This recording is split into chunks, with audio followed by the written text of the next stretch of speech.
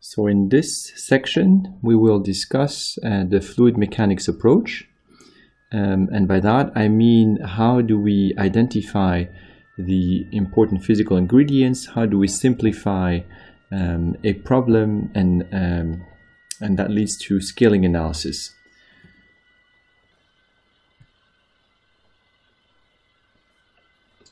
So we are in one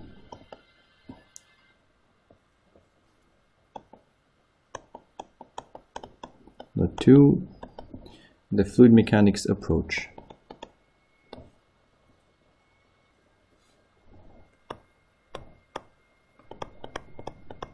Approach. And for that, we will first uh, discuss non-dimensional numbers because you see these um, a lot in uh, fluid mechanics. Of course, they are not. Uh, you, on, you not only you don't only see them in fluid mechanics, but um, those are really this is where um, they're used a lot. You, you see a lot of them. So a non-dimensional numbers.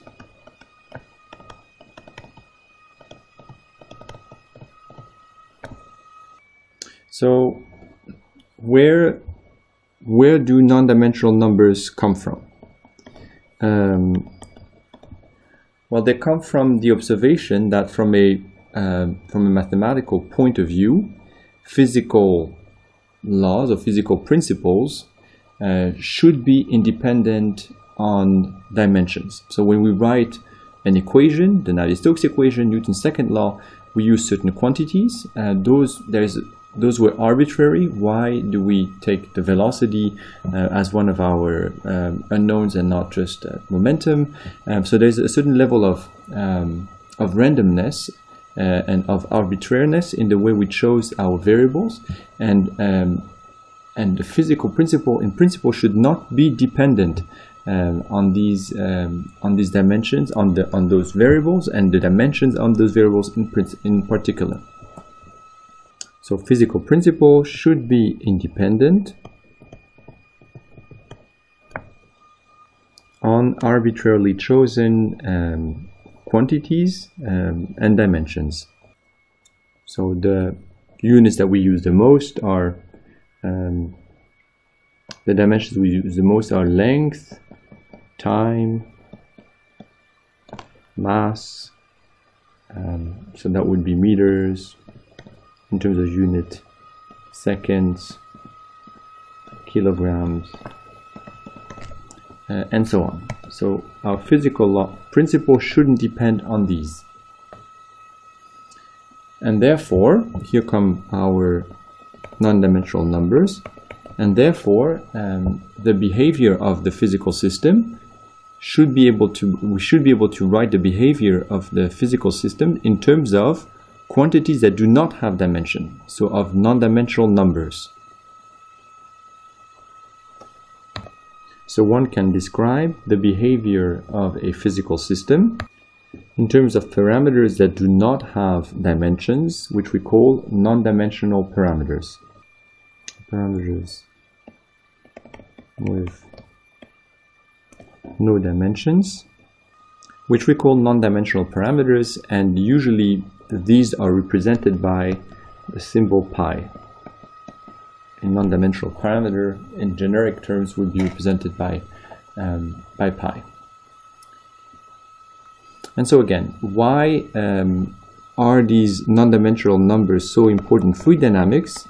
Um, and that is because in fluid dynamics, um, there are many competing um, physical um, phenomenon or quantities, physical forces um, and so the ratio of these, which will be uh, written in terms of non-dimensional terms, often allows us to simplify the problem. So they allow us to quantify um, the relative strength of, um, of different driving mechanisms.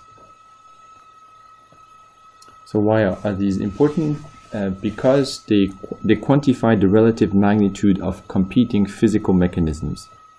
And so these mechanisms, I mean, those physical mechanisms are inertia, for example, or viscosity, gravity, um, surface tension. So think inertia, viscosity, gravity, surface tension, and so on. Okay, so how does one find those relevant uh, physical parameters? Um, so there are two ways. Um, one which is more systematic and which you can find in uh, the Kundu book, and one which is a little bit uh, less systematic and it's, it's the one which I prefer. So the first one is I would what I would call a dimensional analysis, and the second one is um, a scaling analysis. And so we'll start by discussing the first one, which is dimensional analysis. Dimensional analysis.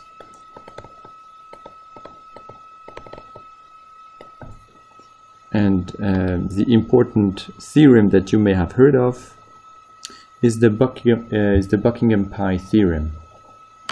The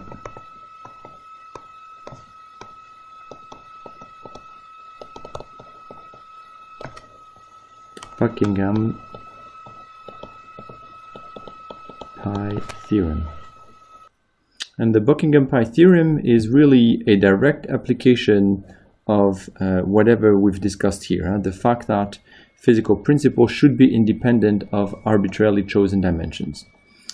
Um, okay, so um, let's consider a physical system so consider, so if that helps, just think about our stratification problem, uh, a simple stratification from before. Now let's say that we can describe its behavior. Um, so we can express or describe its behavior in terms of m physical parameter. So in terms of a number n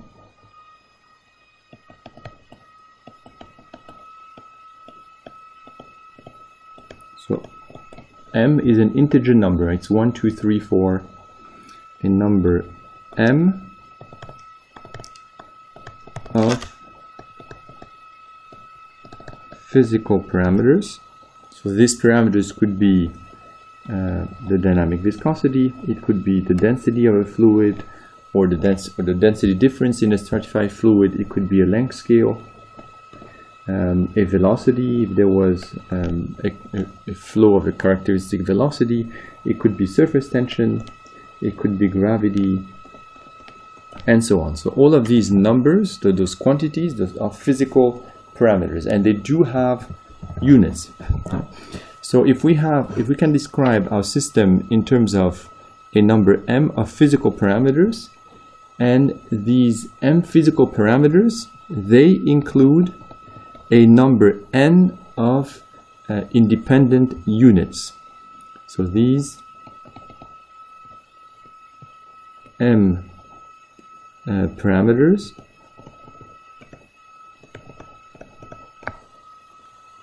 include n so a number n um, independent units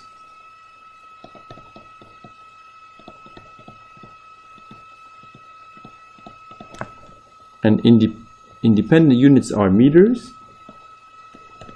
For instance seconds kilograms um, Kelvin um, those are independent units but for instance um, units of velocity meters per seconds those are not independent. Or a Newton which is a kilogram meter second minus 2 is also not independent is not independent of meters, seconds, and kilograms. Uh, so you have to take you can express these in terms of n independent units.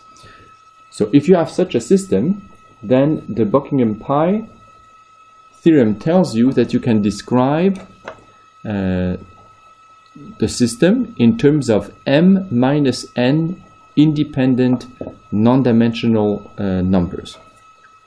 So if you have such a system, uh, the behavior of the system can be described in terms of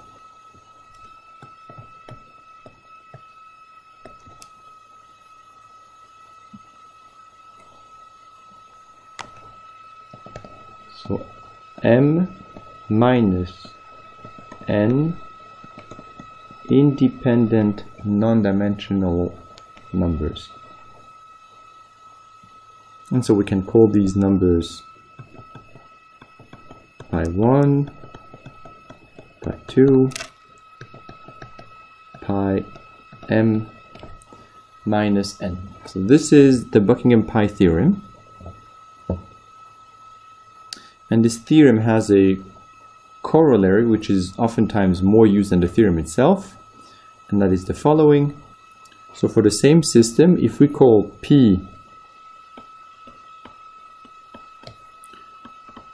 the number m minus n, so P is equals to m minus n, so usually what we can do is that we can express then one um, of the um, non-dimensional group will be a function of the p minus 1 others.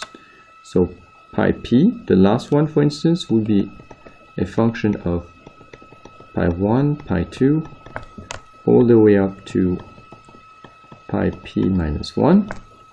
Um, and that is used mostly, you will see it mostly in the case when, in particular,